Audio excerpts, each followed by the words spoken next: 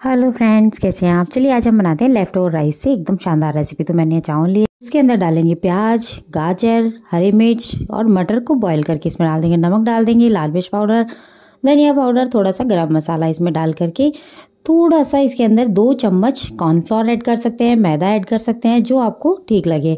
उसके बाद में इसके इस ऐसे डो लगा लेंगे, अच्छे से मैश करके, उसके बाद में इसकी छोटी छोटी सी टिकिया बना लेंगे। और सभी टिकिया बनाने के बाद में, जब तक टिकिया बनती है, मैंने ऑयल गर्म करने के लिए रख दिया है और ऑयल भी गर्म हो चुका है और ये टिकिया पूरी बन चुकी है। तो हम इसको एक एक करके ऑयल के अंदर डाल देंगे। गैस का फ्लेम हमें मीडियम रखना है।